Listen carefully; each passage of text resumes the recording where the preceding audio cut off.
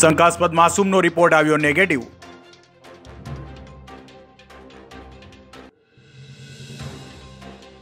નવાગામ ડિંડોલીના એક વર્ષના બાળકનો રિપોર્ટ આવ્યો નેગેટિવ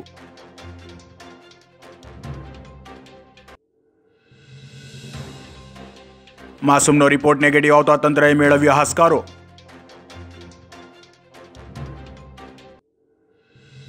અત્યાર સુધી સુરતમાં સત્તર પોઝિટિવ દર્દીઓ, જેમાંથી પાંચને અપાઈ છે રજા.